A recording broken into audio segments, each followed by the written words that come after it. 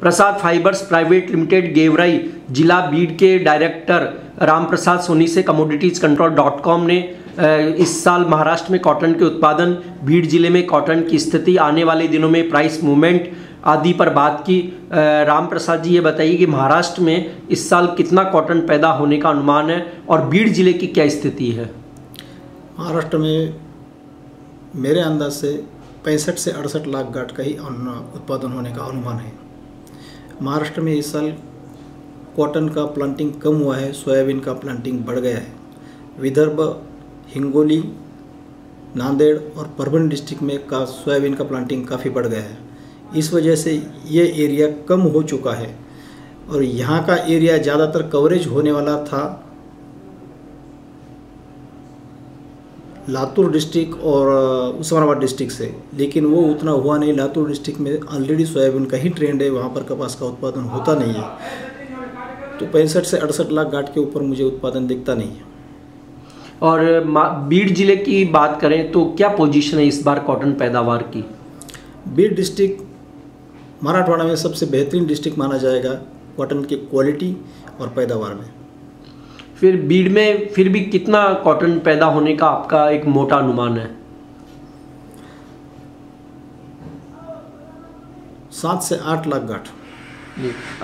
और कॉटन की अगर हम बात करें तो जो जनवरी महीने से आ, सीज़न के अंत तक प्राइस किस एक रेंज में रह सकते हैं? जनवरी महीने में प्राइस चालीस हज़ार पाँच सौ से इकतालीस हज़ार रुपये देखी जा सकती है। अभी जो कॉटन के अराइवल का प्रेशर है ये प्रेशर तीन हफ़्ते तक चलेगा। तीन हफ़्ते के बाद इसका प्रेशर कम हो जाएगा और उसके बाद इसमें काफ़ी इन्वेस्टमेंट आ जाएँगी। जैसे कि पिछले साल इसमें काफ़ी तेज़ी आई थी और ये तेज़ी के कारण इस साल इसमें इन्वेस्टमेंट ज़्यादा आएगी। आपको क्या लगता है कि सीज़न का जब अंत आएगा उस समय तक कॉटन के प्राइस मूवमेंट किस तरह के देखने को मिल सकते हैं? अपवर्ड ट्रेंड में देखने को मिल सकते हैं। आज की तारीख में जो इसके कोट्स आते हैं फॉरेन इंपोर्टर से या तो एक्सपोर्ट के लिए ये सबसे सस्ती रुई इंडिया की है। क्या आपके एरिया बीड में सीसीआई की खरीद देखी जा रही है कॉटन में? नहीं बीड डिस्ट्रिक्ट में सीसीआई की खरीद नहीं देखी जा रही है। बहुत कम प्रमाण पे है। गेवरे में सीसीआई का सेंटर है लेकिन काफ़ी कम प्रोपोर्शन में वो खरीदी करते हैं। और कॉटन में इस समय एक्सपोर्टर्स की कैसी डिमांड है?